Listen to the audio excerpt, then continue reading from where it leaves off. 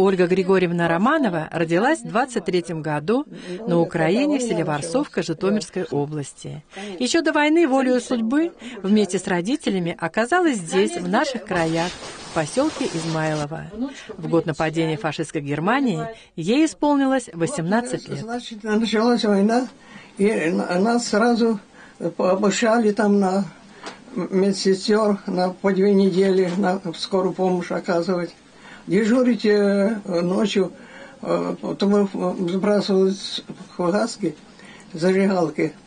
И поэтому приходилось нам дежурить по ночам еще. Ей, девчонке, как и многим другим, приходилось еще работать и на возведение оборонительных сооружений. На подступах Серпухова рыли окопы. Потом оттуда нас перебросили в Домодедово по Павелецкой дороге. Вот. Домодедово противотанковый ров копали. Тяжело было копать вот этот ров э, танка. Ломами долбили, уже был заморозок. Вот. А утром э, э, придешь, продолбишь, все хорошо, а он заново замерзает, утром приходишь, опять долбишь. И выкидаешь земли, закидали, кидали, как-то, и все. А есть-то давали только 400 грамм хлеба и тарелку супу. Москву отстояли, но до победы было еще далеко. Впереди была еще не одна битва. Битвой можно назвать и жизнь в тылу. Основная тяжесть в то время легла на плечи женщин, ведь им приходилось, помимо всего, выполнять и мужскую работу. В совхозе всех мужчин забрали, никого уже не было. Нас четыре девочки послали на, учиться на водителей. Три девочки на фронт забрали этих. И я вот одна работала в совхозе. В совхозе и одна машина-то была, грузовичок ГАЗ-А, на котором приходилось Оле ездить по всей округе. А я, знаете, какая была шустрая? Я, меня Коля звали.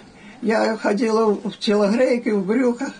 Вот, и меня называли Коля. Обслуживали военторг на развилке у речного вокзала.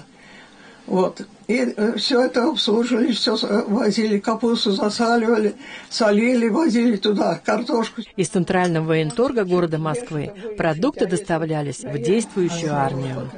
Бабушка возила еду военным.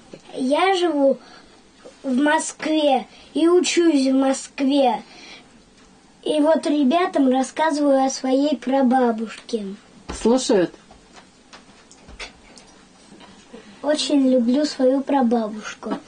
Рад, что она здорова. И поцелуй. Ой, как хорошо. Первоклассник Илья – один из большого семейства Ольги Григорьевны. Она окружена их заботой и вниманием. В свои 93 года Коля Оля, как ее называли в годы войны, задает тон своим близким. На садовом участке сама все сажает и выращивает. А в этом году даже садовую дорожку сделала своими руками. Сил-то хватает все это делать? А если не хватает, то сяду, посижу.